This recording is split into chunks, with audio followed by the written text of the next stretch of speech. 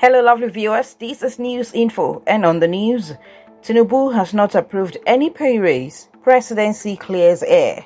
Please endeavor to subscribe to our channel and remember to turn on your notification button to get notified of our fresh news updates.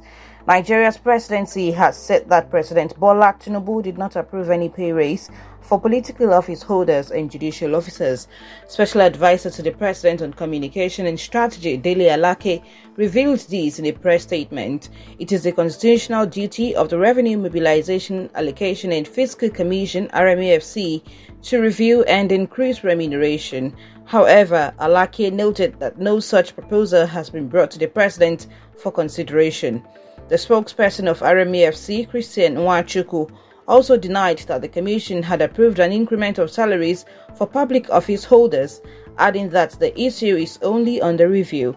Recall that the chairman of RMAFC, Mohammed Shehu, had on Wednesday said that houses of assemblies should move quickly on amendment of relevant laws to pave way to have a 114% increase of salaries paid public office holders.